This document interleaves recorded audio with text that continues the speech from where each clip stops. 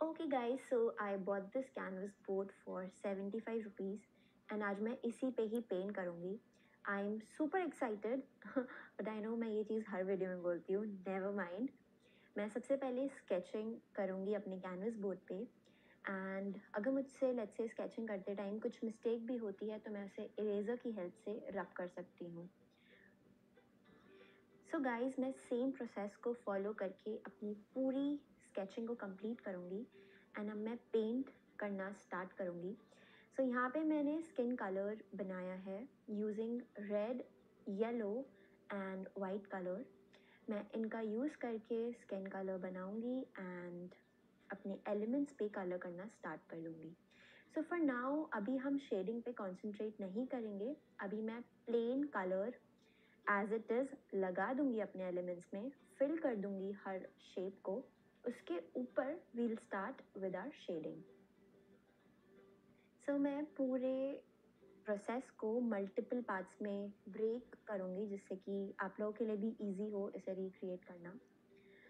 And या इसी तरीके से मैं कंप्लीट करूँगी अपने सारे एलिमेंट्स को. जैसा कि आप देख सकते हैं, मैंने एक छोटी सी काव भी बना रखी है यहाँ पे बिकॉज़ वो कृष्ण जी को सबसे प्यारी होती है. तो उस पर मैं वाइट कलर करूँगी एंड यहाँ पे मैं थोड़े डिफरेंट कलर्स का यूज़ कर रही हूँ।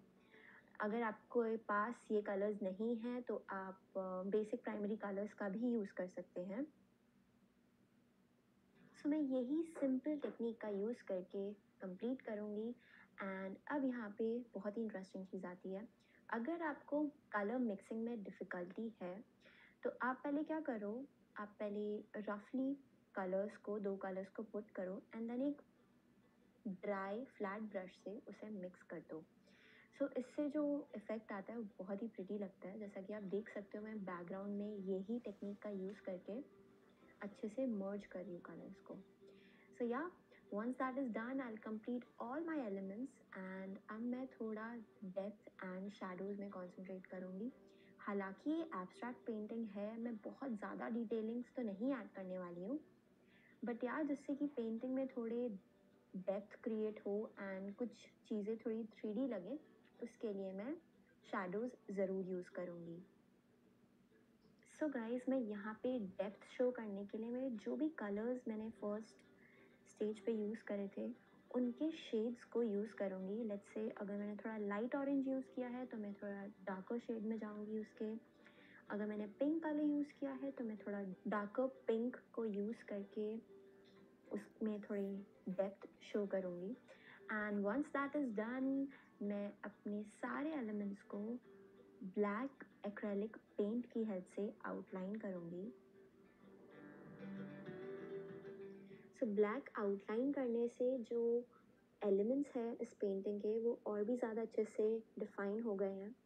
And it is looking better now and धीरे धीरे हम हर स्टेप के साथ बेटर करते जाएँगे इस पेंटिंग को। So yeah once that is also done अब मैं कुछ रैंडम कलर्स को स्प्रेड करूँगी कृष्ण जी के लोअर हाफ़ में।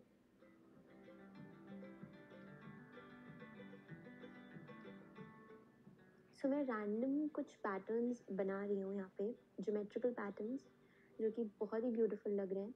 And once that is done बीच बीच में जो एलिमेंट्स मैंने मिस कर दिए थे ब्लैक कलर से आउटलाइन करना मैं उनको डिफाइन कर रही हूँ।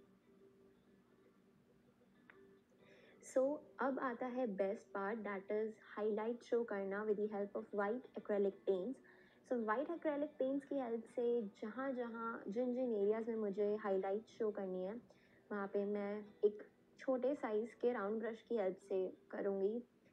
And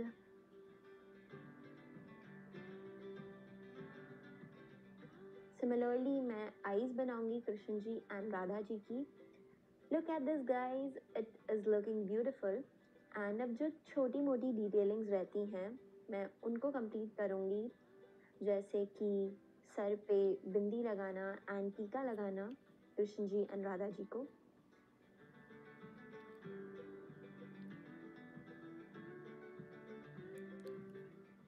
एंड मोर पंख को भी मैं थोड़ा बेटर तरीके से डिफाइन करूँगी क्योंकि मोर पंख इज़ वेरी इंपॉर्टेंट आप अगर कोई भी कृष्ण जी की पेंटिंग बनाते हैं उसमें। So yeah that is I complete the whole thing so कुछ फाइनल ब्रश स्टोक की हेल्प से we will complete this painting and look at this guys it is looking beautiful